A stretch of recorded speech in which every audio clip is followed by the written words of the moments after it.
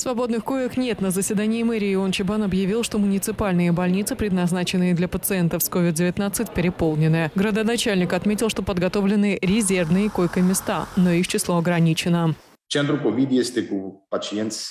Центр ковид работает на полную мощность, а в городской больнице Святого Архангела Михаила из 210 коек 180 заняты, в том числе 12 в отделении интенсивной терапии.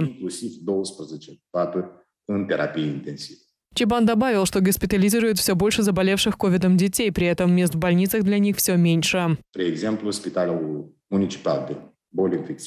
К примеру, муниципальная детская инфекционная больница переполнена маленькими пациентами с подозрением на ковид или уже подтвержденным диагнозом. Я распорядился активировать детские секции в муниципальной больнице Игнатенко, подготовить 63 места, но более половины коек уже заняты.